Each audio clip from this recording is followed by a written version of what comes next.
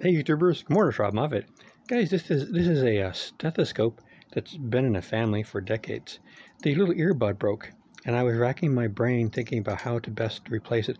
I was going to put a little piece of wood dowel in the hole, and then just cover it with a hot glue gun and make another earbud. Then I was thinking, you know, they have this material that's a thermoplastic, and it you put it in hot water and then you can form it like putty, and it makes a hard plastic. And I was going to do the same thing I was going to do with hot glue gun. But then last night I realized I had some wooden beads, like a dummy.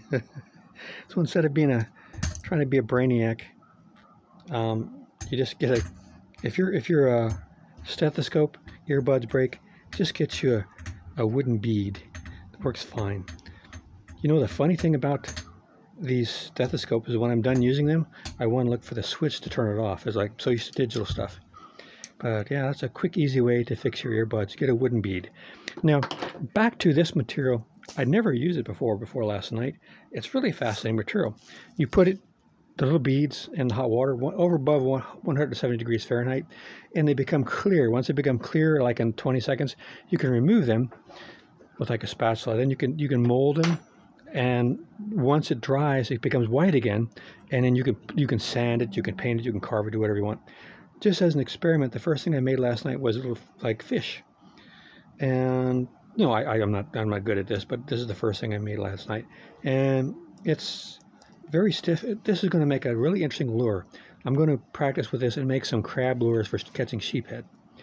Um, i'll show you what happens. I'll, I'll do a video on the crab lure when i'm done.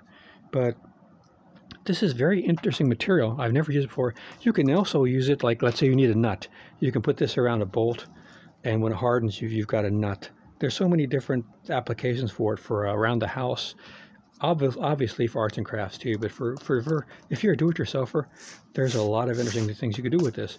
And like I said, if you heat it up again, it'll get soft once again, and you could paint it. This green color comes from when I when I molded mine. I put a coin into it and I put some magic marker on there and just to see if it would make an impression from the coin. And then I heated it again and I uh, up and it became uh, green inside. So it's kind of interesting material. So that's the video this morning. In case you never knew about Polly Plastics, this is a thermoplastic. They're not very expensive. I'll leave a link to it on Amazon. And not that many people watching this have a stethoscope or this problem. But if you ever do, uh, there you go. Hope there's something helpful. Put on new stuff every single week. Been doing it for 14 years, got over a thousand videos, and y'all come back, watch more every week. Take care. See you out there.